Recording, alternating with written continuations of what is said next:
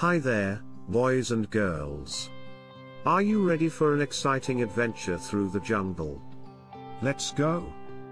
Once upon a time, in a dense and wild jungle, there was a young elephant named Ellie.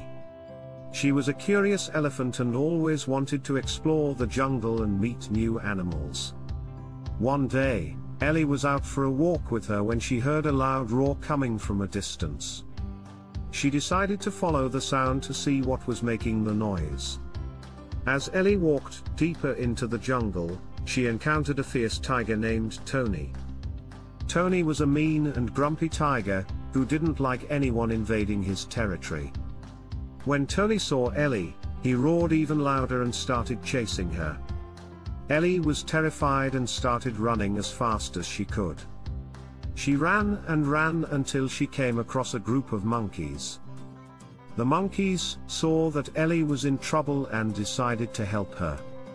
They quickly came up with a plan to scare off Tony.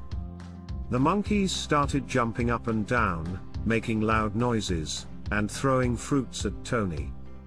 Tony was so scared that he ran away as fast as he could. Ellie was relieved and grateful to the monkeys for saving her. She thanked them and promised to always be their friend. From that day on, Ellie and the monkeys became the best of friends. They explored the jungle together and had many adventures. Ellie learned that even in the jungle, there are good friends who will always be there to help you when you need it. We hope you enjoyed our jungle adventure story.